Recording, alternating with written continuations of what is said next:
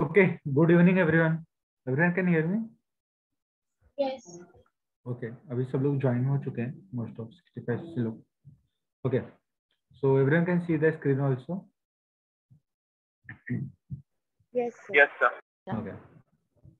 So देखो last lecture में when we completed with the uh, DNA replication, after DNA फिर हम लोग ने देखा था कि how it will form the what nucleosome and after nucleosome how it will convert into the chromatin fiber. फिर from chromatin fiber it will convert into the chromatids. From chromatids it will convert into the chromosome. ये सब हो गया था अपना in detail. हो गया था हाँ sir. Okay. So after that, ये slide भी we completed. So if is there is a preparation of for two preparation of E. coli, तो क्या हुआ था उसमें? How it will take place? So examples मतलब अभी देखो कैसा है कि अपने को examples देना था मतलब कि अपने को examples नहीं मतलब कि जो भी साइंटिस्ट लोग थे उन लोगों ने जो भी एक्सपेरिमेंट किया था so they have to prove that कि मतलब कि how you came to know that कि that things come from here that thing come from here तो उसके लिए उन लोगों ने एक्सपेरिमेंट किया था। तो पहला उन्होंने क्या एक्सपेरिमेंट किया? उन लोगों ने दो इक्वलाई ले। कितना इक्वलाई लिया? They to he two two equally how many two equally two equally ठीक है? एक को किस मीडियम में डाला? अमोनियम क्लोराइड जिसमें उसने हाँ तो अमोनियम क्लोराइड ठीक है जिसमें उसने कौन सा नाइट्रोजन यूज़ किया? हैवी आइसोटोप ऑफ़ नाइट्रोजन ठीक है दूसरा उसने क्या यूज़ किया? दूसरा उसने यूज़ किया नाइट्रोजन मतलब कि nitrogen salt which is level with what nitrogen 14 ठीक है। अब क्या हुआ कि जो यहाँ पे नाइट्रोजन 15 था जो कि आइसोटोप है ये दोनों एक दूसरे का आइसोटोप है ये तो पता होगा आप लोगों को।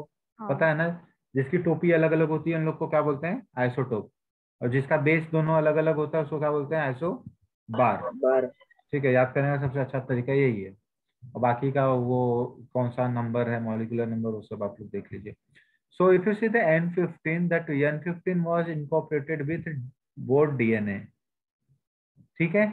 एन स्टैंड बिकम हैवियर यहाँ पे क्या था? N fourteen was incorporated in both DNA and strand become lighter तो मतलब जो दोनों स्टैंड यहाँ पे बना है और जो दोनों स्टैंड यहाँ पे बना है तो सॉरी जो दोनों स्टैंड यहाँ पे बना है तो इसके दोनों स्टैंड में कौन सा ये था?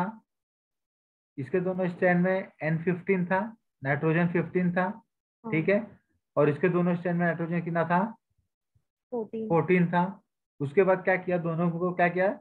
Transferred E coli cell from N15 medium to N14 medium तो इसको किससे मिक्स कर दिया गया? इससे मिक्स कर दिया गया, है ना?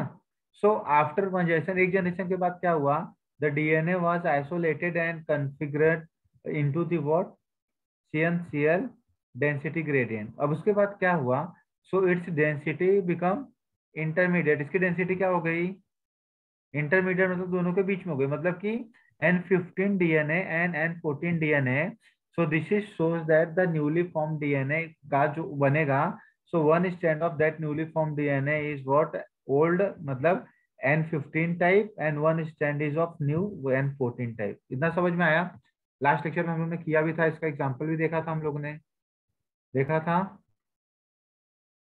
Yes, sir. okay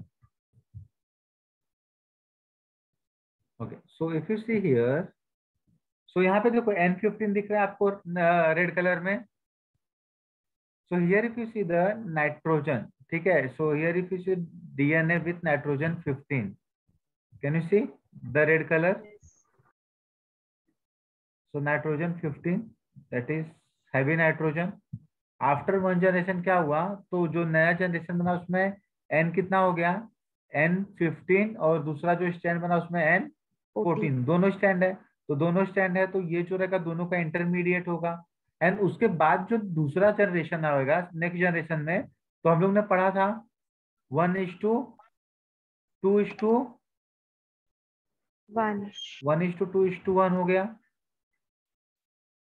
है कि नहीं Yes, sir. अगर सोचो कि इसमें से मान लो एन फिफ्टीन वाला क्या होता डोमिनेंट होता तो आप लोगों को पता है जब भी हम लोग पेरेंटल यूज़ करते थे तो पेरेंटल के बाद अपने को जो वन जनरेशन आता था सब सेम ही आता था हाँ. तो इसमें अगर मान लो कि एन फोर्टीन हो गया और एन फिफ्टीन हो गया दोनों में एन फोर्टीन एन फिफ्टीन है है कि नहीं? हाँ. अब इसका अगर मान लो एन फिफ्टीन डोमिनेंट होगा तो दोनों सेम कैरेक्टर वाले होंगे। फिर जब उसका नेक्स्ट जनरेशन बनेगा तो उसमें एन फोर्टीन का एक मिलेगा एन फोर्टीन का यहाँ पे एक मिल रहा है ठीक है? और यहाँ पे आप देख रहे हो क्या मिल रहा है आपको? मिक्स वाले मिल रहे हैं। एन फिफ्टीन वाले मिल रहे हैं ओके? सो हियर कुछ द एन फोर्टीन वाला जो है उसके पास कौन सा चेन है लाइट एंड ये क्या हो गया? दिस इज़ द हाइब्रिड ये भी क्या हो गया? This is hybrid so that is the separation of DNA by centrifugation इतना समझा था आप लोगों को? यस सर चलें Yes, आगे. ओके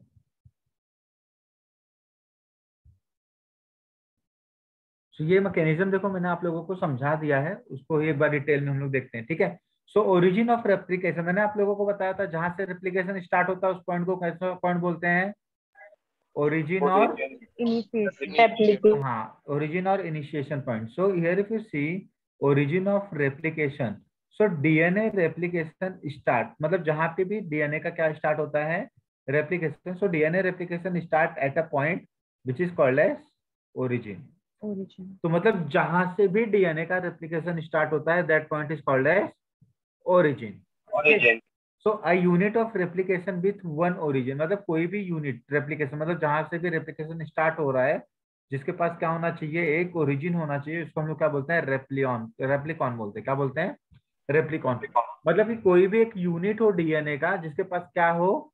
एक ओरिजिन हो क्या हो? हो। ओरिजिन हो that is called. Replicon so during the replication two strand unwind तो अभी देखो हम लोगों ने कौन सा एंजाइम यूज़ किया था? हेलिकेज एंजाइम यूज़ किया था।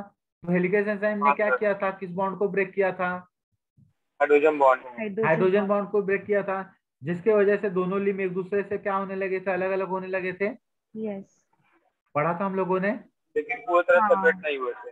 हाँ तो दोनों पूरी तरह से सेपरेट नहीं हुए थे। और उसको हम लोगों ने क्या बोला था? रेप्लिकेशन फो क्या बोला था? Replication Replication फो फिर उसके बाद हम लोगों ने एक एंजाइम और यूज़ किया था जो क्या करेगा? उसको अलग अलग रखेगा। और तीसरा एंजाइम यूज़ किया था जो कि क्या करेगा? जो उसका करली फॉर्म या राउंडेड फॉर्म में है उसको क्या करेगा? स्ट्रेट करेगा। हम लोगों ने पढ़ा था ना? सिंगल एस एस बी याद आ रहा है कुछ? हाँ हाँ एस एस बी पी अब वो सब इसमें इतने डिटेल में नहीं दिया आपके एनसीआरटी में ठीक है?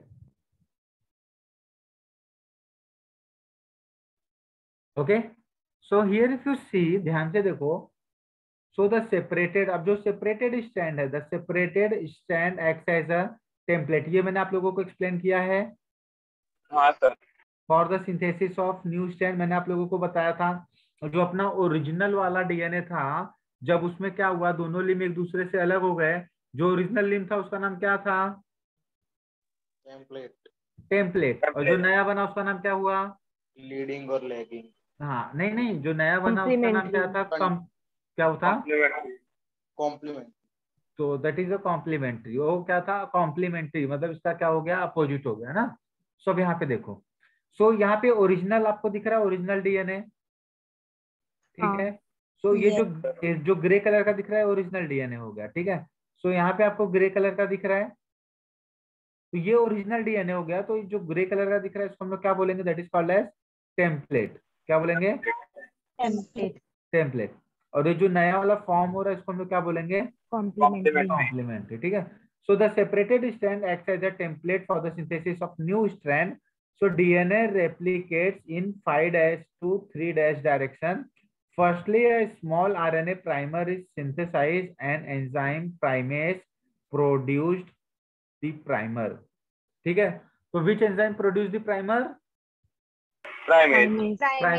अब यहाँ पे देखो उसके बारे में दिया है क्या एसएसबीपी के बारे में? नहीं। नहीं दिया हुआ ठीक है? तो एस एस बी पी अब ऐसा क्वेश्चन अगर आ जाएगा ये आ जाएगा तो पता नहीं चलेगा कि क्या हुआ। अब यहाँ पे इसने सीधा क्या बोल दिया? सेपरेट किया और सेपरेट के बाद सीधा क्या बोल दिया? आरएनए प्राइमर का यूज़ करके हम लोग क्या करते हैं? कॉम्प्लीमेंट्री स्टैंड बनाते हैं। और बाकी कुछ उसने एक्सप्लेन किया क्या? नहीं एक्सप्लेन किया है ठीक है? तो हम्म। यही सेम चीज़ आपका आगे भी होगा प्रोटीन सिंथेसिस में। तो अपना स्टेट वो अपना एनसीआरटी में काफ़ी जगह पे स्किप मारा हुआ कहाँ पे स्किप मारा मैं आपको लोगों को एक्सप्लेन कर रहा हूँ। तो वो वहाँ पे मैंने एक्सप्लेन किया हुआ है आप लोगों को ठीक है? ये आपका एनसीआरटी है। So first point is what that is the initiation of replication at one point that is called as which point origin point क्या बोलते हैं उसको? Origin point so next is what bidirectional replication at one origin initiation at a second origin ठीक है? अब देखो ये second origin है तो यहाँ से भी डीएनए का रेप्लिकेशन चालू होगा। और ये फ़र्स्ट ओरिजिन था यहाँ पे रेप्लिकेशन स्टार्ट होकर बायोडायरेक्शनल गया है। So next if you see the bidirectional replication continue until the terminal are reached अब देखो अब ये वाला ये वाला दोनों आकर के एक दूसरे से मिल गए। सो एक बड़ा सा डीएनए बन रहा है। कैन यू सी मतलब प्रोसेस फास्ट होगा ना? हाँ। जैसे क्या हाँ, है तो- अभी आपको बोरीवली से लेकर के अंधेरी तक का वो बनाना है ठीक है रास्ता बनाना है। तो अभी आप कांदी बोरीवली से लेकर के अंधेरी की तरफ़ जाओगे तो कितना टाइम लगेगा ना? है ना? हाँ। अभी जैसे मुंबई की मेट्रो देखो मुंबई की मेट्रो अगर गवर्नमेंट ने सोचा होता हम पहले दहीसर बनाएँगे बोरीवली जाएँगे और कंदेरी कांदिवली ऐसे जाएँगे। तो उन लोग का बन पाता था ट्रेन अभी दो साल और लग जाता था ठीक है? तो हाँ। इसलिए लोगों ने कहा कि यार जगह जगह पे जगह जगह पे जहाँ हमको जगह मिला वहाँ पे उन लोगों ने क्या किया काम चालू कर दिया। जहाँ जहाँ पे काम अटका हुआ तो वहाँ वहाँ पे जगह के बारे में देखा जा रहा था। और एक बार सब मेट्रो बन गए तो सबको क्या करना था? एक दूसरे से जोड़ दिया। तो फटाक से काम हो गया। तो मतलब अलग अलग जगह ओरिजिन पॉइंट्स बनाए। हाँ तो कोई भी अगर कोई नई चीज़ स्टार्ट होनी रहती है अगर थोड़ी थोड़ी थोड़ी जगह पे चालू होती है बाद में हम लोग उसको कंपाइल कर देते हैं तो बड़ी चीज़ अपने को छोटे छोटे फॉर्म में ज़्यादा दिखाई देती है। है ना? तो ऐसे यहाँ पे भी हुआ। तो ओरिजिन पॉइंट एक ही तो नहीं होता ना। ढेर सारे ओरिजिन पॉइंट होते हैं। तो जितने ओरिजिन पॉइंट होंगे सब में रेप्लिकेशन स्टार्ट होगा। और फाइनली सब रेप्लीकेशन बन करके एक सिंगल रेप्लीकेशन बन जाएगा ठीक है? हाँ। ये लिखा था ये भी हो गया था अपना कि नहीं हुआ था? ये नहीं हुआ था। ओके राइट ये नहीं हुआ था। राइट इट डाउन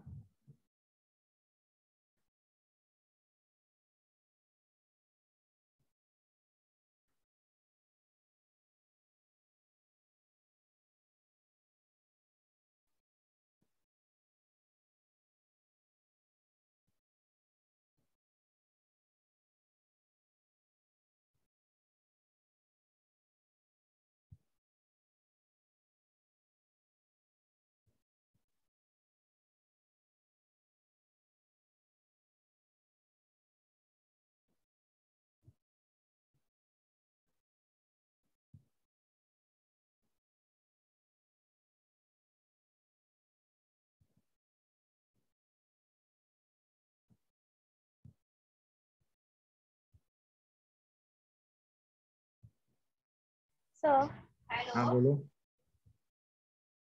बोलो। आप लास्ट स्लाइड एक बार बता सकते हो? ये स्लाइड लिख लो फिर मैं बताता हूँ।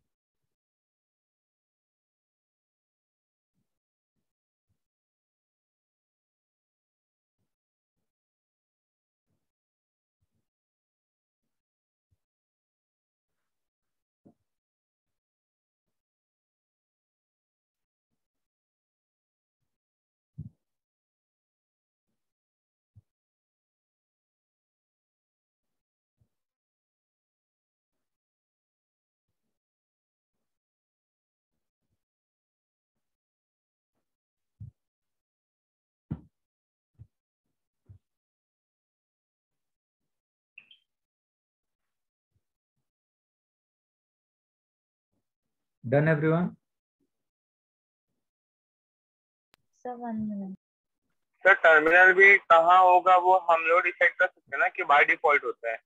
नहीं नहीं टर्मिनल मतलब जब वो वो वाला जो रिंग रहेगा मतलब जो डीएनए आपका रहेगा वो डीएनए का टर्मिनल कहाँ है तो डीएनए का एंडिंग पॉइंट टू करेगा ना आप थोड़ी डिसाइड करोगे।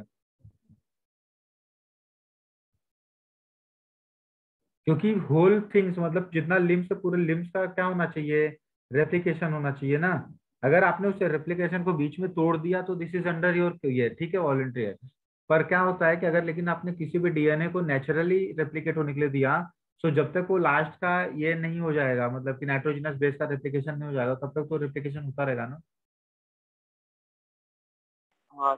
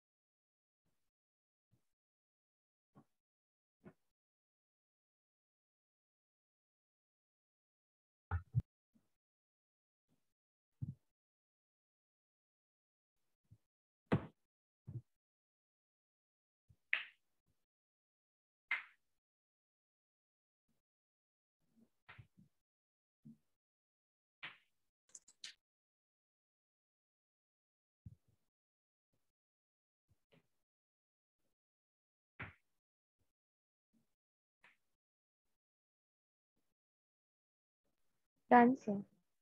Done, everyone? Done, sir. Okay. So this is the previous slide. Right. This one is previous slide. Now come to the next. Sir, minute.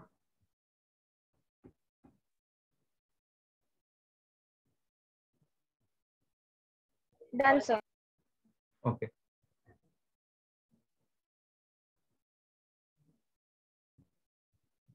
So here if you see, so can you see? So it looks like a Y shape, inverted Y. हाँ जिसको हम लोग. क्या बोलते हैं Replication. Replication fork. Replication fork अगर आप यहाँ पे देखोगे तो ये क्या हो जाएगा it's move from three dash to five dash है ना and it's move from five dash to three dash Yes. तो मैंने बोला था अगर सीधे चलोगे तो Continuous. दूर तक जाओगे ठीक है so so when you move from three dash to five dash so the complementary chain will be continue and long okay so here if you see in the presence of in the presence of dna dependent dna polymerase क्या है ये आया था कुछ याद आ रहा है हाँ हम्म, ये हाँ, लाइन आई थी लाइन थी? अरे ये नीट 2021 में आया है। So in the presence of DNA dependent DNA polymerase many nucleotides join with one another to the primer strand and form a poly nucleotide chain with a new strand that new strand is called as complementary strand ठीक है? So unwinding of DNA molecules at a point form Y shaped is called as replication fork so the DNA polymerase कौन DNA dependent polymerase DNA polymerase form one new strand that is for the leading strand in a continuous stretch in the direction of what five dash to three dash भले वे three dash to five dash था तो उसका जो complementary बनेगा कौन सा direction बनेगा? Five dash to three dash ना? Right it yes.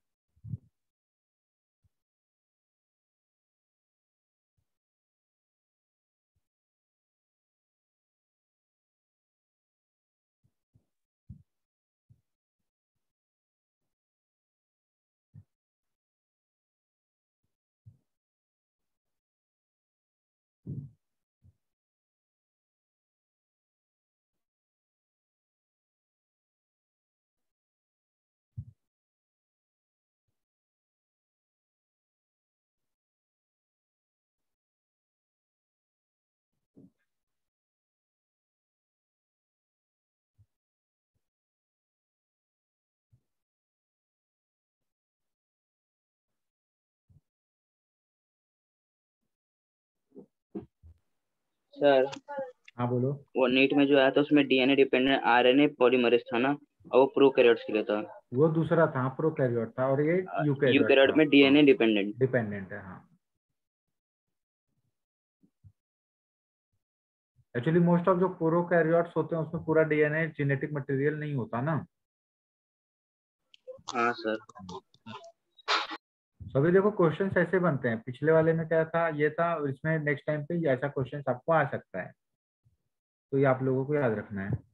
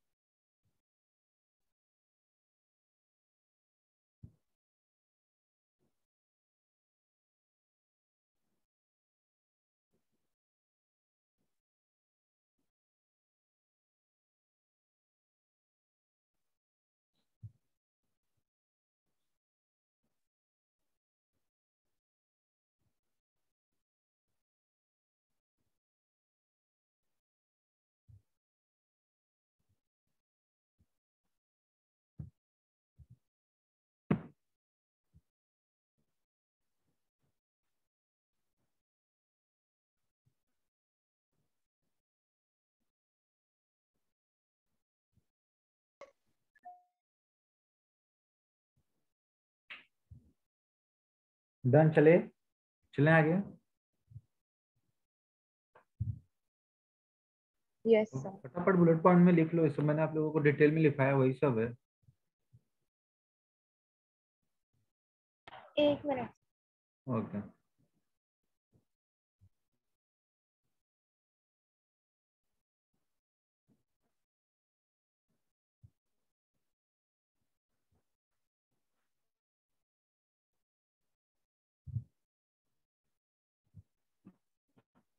Done, sir. Done everyone? Okay. So here if you see, then the another new stand is formed in a small stage. तो देखो ये जो एक वाला था जो three dash to five dash की तरफ़ मूव कर रहा था वो क्या था कंटिन्यूस था Yes. and long था so that is called as the leading stand so another new stand is formed in a small stretch which is called as Okazaki fragment in 5 dash to 3 dash direction बताया था आपको Yes. उल्टे उल्टे जाओगे तो दूर तक नहीं जाओगे so that Yes. is small so that uh, small Okazaki fragments are then joined together to form a new stand बताया था lagging stand हाँ. क्योंकि उसको चिपकाना पड़ेगा तो चिपकाने का काम कौन करेगा? DNA ligase help of DNA ligase so if wrong base is introduce in a new strand so DNA polymerase can do proofreading अगर मान लो कि कुछ गलत हो जाता है तो जो डीएनए पॉलीमरेज रहेगा ये क्या करेगा? प्रूफ रीडिंग करेगा मतलब फिर से रीडिंग करेगा कि सही है कि गलत है। So E coli complete replication within 38 minutes मतलब 200 2000 बेस पेयर का रेप्लिकेशन कब होता है? In per second okay hello. Replication replication देखो कितना फास्ट हो रहा है। इक्वल कंप्लीट देयर रेप्लिकेशन ठीक है? Within 38 minute means half an hour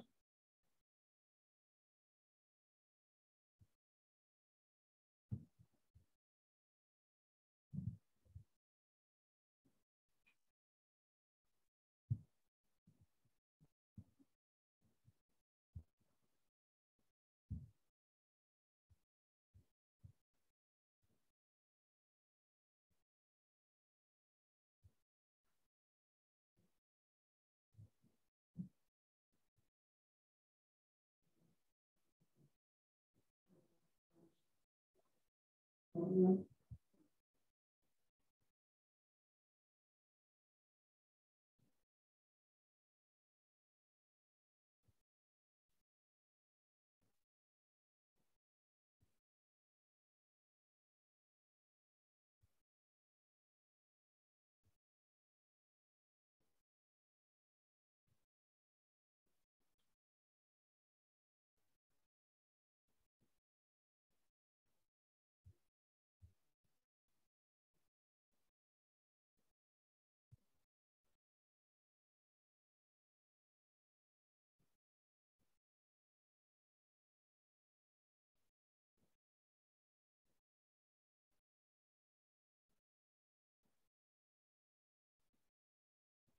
Sir बोलो। ये जो सेकेंड लाइन है ओकाजाकी फ्रेगमेंट वहाँ पे थ्री टू फाइव डिरेक्शन आना चाहिए था ना? कहाँ पे? जो सेकेंड लाइन है ना ओकाजाकी हाँ तो जो न्यू स्टैंड बना हुआ है वो थ्री टू फाइव डेज़ रहेगा ना? यहाँ पे five to three dash direction है ना क्या हुआ है? मतलब यहाँ पे फाइव टू वो ओरिजिनल को देख ओरिजिनल को देख कर किया गया ना मैंने ओरिजिनल का बताया था ना आप लोगों को। मैंने क्या बताया था? दिस इज़ थ्री डैश अगर आप three dash to five dash जाओगे तो दूर तक जाओगे और उल्टे डायरेक्शन में जाओगे तो दूर तक नहीं जा पाओगे तो five dash to three dash ये वाला देखना है ना लाल वाला लाल वाला आप लोगों का क्या है टेम्पलेट है ना? यस हाँ तो टेम्पलेट को देख करके बोला ना five dash to three dash direction में जब जाता है तो so there is Okazaki fragment form होता है। समझा कि नहीं?